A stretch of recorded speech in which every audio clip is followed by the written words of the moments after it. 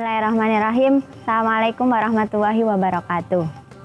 Sebagai seorang muslim tentunya kita akan senang ketika mendapatkan bulan Ramadan ini. Bulan Ramadan ini adalah bulan yang penuh nikmat, rahmat, serta ampunan dari Allah.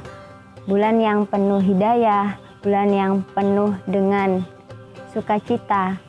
Lantas tidak semua uh, orang mendapatkan nikmat, rahmat, serta berkah dari Allah Subhanahu wa taala.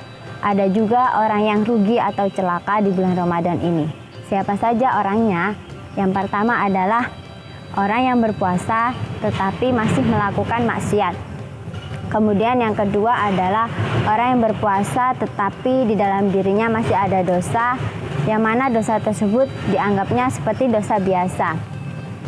E, seperti halnya uh, dosa ghibah atau membicarakan aib orang lain.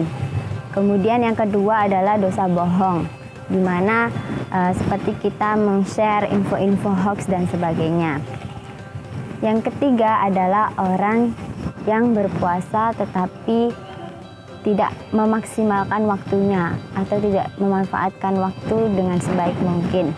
Padahal dalam Al-Quran surat Al-Asr ayat 2 disebutkan bahwasanya Bismillahirrahmanirrahim Innal insana lafi hus bahwasanya manusia itu benar-benar dalam keadaan yang sangat merugi. Merugi di sini adalah apabila tidak memanfaatkan waktu dengan sebaik mungkin. Seperti saat berpuasa, dia tidur habis subuh sampai menjelang berbuka puasa. Kemudian eh, bermain game online seharian sebagainya. Selanjutnya, yang keempat adalah orang-orang yang berpuasa tetapi tidak bisa memanfaatkan waktu malamnya.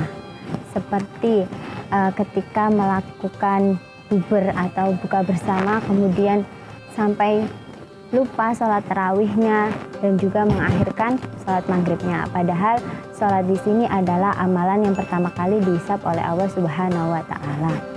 Lantas, apa saja sih yang seharusnya kita lakukan dalam bulan Ramadan ini?